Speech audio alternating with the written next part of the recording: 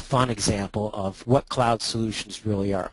Sometimes we have a conversation, we think about, well, we all know what on-prem is, materials located on-premise, but what is infrastructure as a service? What is software as a service?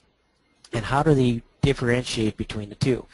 This kind of gives you an example because everybody is familiar with pizza. The traditional or on-premise example for pizza is being made at home. And these this is a list of all the components that you need in order to make that pizza successful. A dining room table, soda, mm-hmm. uh, some sort of electric gas device to heat the pizza, the oven, pizza dough, tomato sauce, all the ingredients that make a pizza. All those things, it's your responsibility. You have direct custody and control over each and every aspect of that process.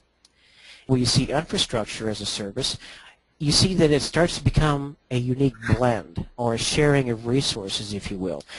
Um, when you have a take and bake example in the pizza, which is the you know infrastructure as a service, you still have to provide the dining room table, you the, the soda, you still have to be able to reheat the pizza, but the vendor actually provides the pizza dough.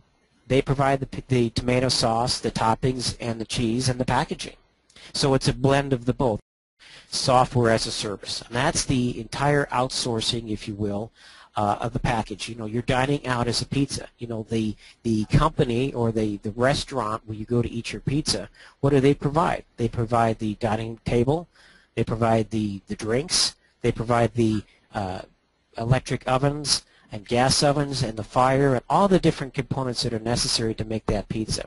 So when you, you start thinking about, you know, cloud solutions, I encourage you to try to keep that pizza analogy in your mind